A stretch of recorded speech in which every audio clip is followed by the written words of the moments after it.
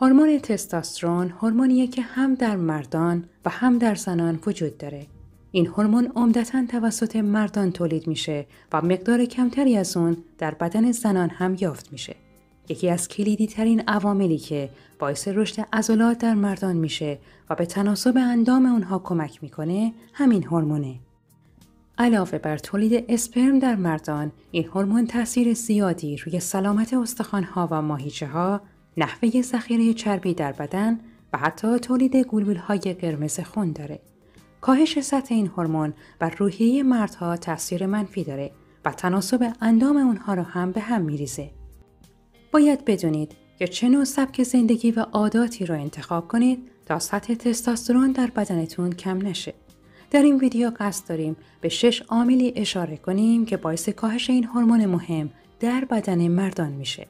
از جمله عوارض کمبود هورمون تستوسترون، کاهش میل جنسی، کمبود انرژی، افزایش وزن، احساس افسردگی و انزوا، کاهش عزت نفس، کم شدن موهای بدن و استخوانهای ضعیفتره. شماره اول کمبود خوابه. کمبود خواب علاوه بر کاهش عملکرد ذهنی بر عملکرد بدن هم تاثیر گذاره. بسیاری از ما فکر می کنیم فقط ورزش کردن ما را از رعایت نکات سلامتی دیگه بی نیاز می‌کنه. اما اگر خوب نخوابین بدن شما بعد از تمرین ورزشی به درستی بازیابی یا به اصطلاح ریکاوری نمیشه. بخش زیادی از تستوسترون روزانه مردان در هنگام خواب ترشح میشه. اگر در طول شب 7 تا 9 ساعت نخوابین بدن قادر به تولید میزان مناسبی از این هورمون نیست. بنابراین قدرت بدنی و روحیه شما در طول روز کم میشه. هنگامی که بدن شما به دلیل مشکلات خواب دچار استرس میشه، مغز تولید هورمون‌های جنسی مانند استروژن و تستوسترون رو به نفع هورمون‌های استرس مانند کورتیزول سرکوب می‌کنه. برای که به خواب رفتن طبیعی مصرف شبانه کافئین و سایر محرک ها رو محدود کنید و سعی کنید به طور متوسط سی دقیقه در روز ورزش کنید. شماره دوم اصلا ورزش نمی کنید. ما از شما نمی‌خوایم که هر هفت روز هفته رو ورزش های سنگین داشته باشید. همه ما نمی‌تونیم شبیه دوین جانسون بدنساز معروف باشیم و البته همه افراد هم چنین فرم بدنی رو نمیپسندند. اما اگر تستوسترون می‌خواین باید کمی بیشتر حرکت کنید. همه نوع فعالیت بدنی خوبه اما وقتی هدف افزایش تستوسترون باشه تمرینات مقاومتی بهترین انتخابه. مطالعه روی مردانی که سه روز در هفته تمرینات مقاومتی انجام می‌دادند نشون داد که تستوسترون در این مردان به طور قابل توجهی افزایش یافت. این نوع ورزش نه تنها میزان تستوسترون بلکه فعالیت مغز شما رو هم زیاد می‌کنه. همینطور یک مطالعه روی مردان مسنی که مرتبا تمرین با وزنه انجام می‌دادند نشون داد اونها نسبت به همسن و سالانشون حافظه و قدرت مغزی بالاتری پیدا کردند. داشتن یک عملکرد خوب ورزشی فقط باعث افزایش تستوسترون نمیشه. ورزش های مقاومتی باعث افزایش اندورفین خواهد شد. این ماده شیمیایی در بدن شما درد و استرس رو از بین می‌بره. تمرین با ترشح سروتونین و دوپامین رو هم افزایش میده. سروتونین هورمونیه که باعث تثبیت خلق و افزایش شادی میشه و دوپامین هم یک انتقال دهنده عصبیه که وقتی یک فعالیت لذت بخش انجام میدین ترشح میشه. از کمی بیشتر ورزش کنید چون فقط تستوسترون نیست که مهمه. شماره سوم کربوهیدرات های اشتباه می‌خورید. یک عامل مهم و تعیین کننده در سطح تستوسترون شما کربوهیدرات ها هستند. برای اینکه سطح این هورمون در حد خوبی باشه، رژیم غذاییتون هم باید درست باشه. سطح این هورمون زمانی افزایش مییابه که از کربوهیدرات های خوب استفاده کنید و از خوردن کربوهیدرات های تصفیه شده دست بردارید. کربوهیدرات ها و قندهای تصفیه شده پردازش شدن. بنابراین فاقد فیبر و مواد مغذی نمونی از کربوهیدرات های بد، نان و برنج سفید، قند و شکر سفید، غلات تصفیه شده و انواع شیرینی هستند. بسیاری از نوشابه های گازدار و تنقلات مورد علاقه شما هم در لیست کربوهیدرات های بد جا دارند.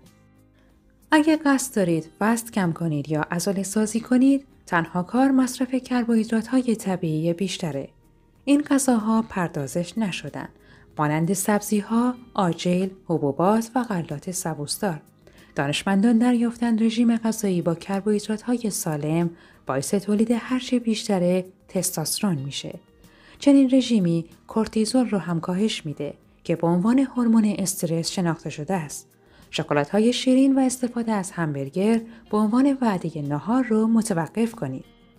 مورد چهارم پروتئین کافی نمی‌خورید. پروتئین به عنوان عنصر سازنده اعضای بدن از پوست و عضلات شما عمل می‌کنه و برای تستاسترون هم بسیار مفیده. اگه تمرین ورزشی انجام میدین، باید از مصرف میزان کافی پروتئین مطمئن بشین. میزان کافی پروتئین برای خانم ها 46 گرم و برای مردها 56 گرم در روزه. اگه بیش از حد غذاهای ناسالم بخورید، تولید تستاسترون شما کند میشه. پروتئین باعث میشه بدن چربی ها رو کاهش بده. تستاسترون در شما زیاد میشه و در نتیجه کمک می‌کنه عضله سازی کنید. منابع طبیعی خوب تامین پروتئین گوشت بدون چربی، مرغ، ماهی، تخم مرغ و لبنیات سالم و طبیعی هستند. شماره پنجم با کمبود مواد مغذی روبرو هستید. فقط کربوهیدرات های سالم و پروتئین ها نیستند که به افزایش تستاسترون کمک می کنند. بسیاری از مواد مغذی دیگه هم نقش دارند. اولین ماده مغذی زینک یا رویه. این ماده ضروری به ایمنی بدن در مبارزه با عفونت های باکتریایی کمک می‌کنه. به عبارت دیگه برای سالم موندن شما به میزان کافی زینک نیازمندید. سلول های بدن شما برای تولید پروتئین و دی ای به زینک احتیاج دارند. اگر فردی میزان کافی تستوسترون بخواد، باید سطح کافی روی رو در بدن خودش داشته باشه. غذاهایی که حاوی روی هستند شامل کلم بروکلی، مارچوبه، سرت، جوی دو سر، ماست کمچرب، صدف، مرغ و گوشت قرمز هستند. شماره ششم شما یک فرد مثبت اندیش نیستید.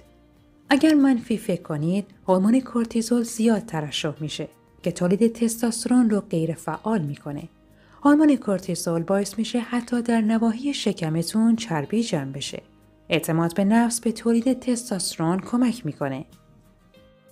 مثبت اندیشی باعث ترشح سروتونین به جای کورتیزول در بدن میشه که به خواب بهتر، هضم غذا، مشکلات رابطه و حافظه کمک می‌کنه.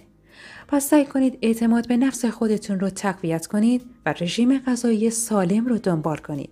به این ترتیب سطح تستوسترون شما افزایش میابه و شما در زندگی شادتر خواهید بود. در برنامه های آینده راهکارها و خوراکی های مفید برای افزایش سطح تستوسترون در مردان را هم معرفی خواهیم کرد. از همراهیتون بی نهایت سپاس گذارم.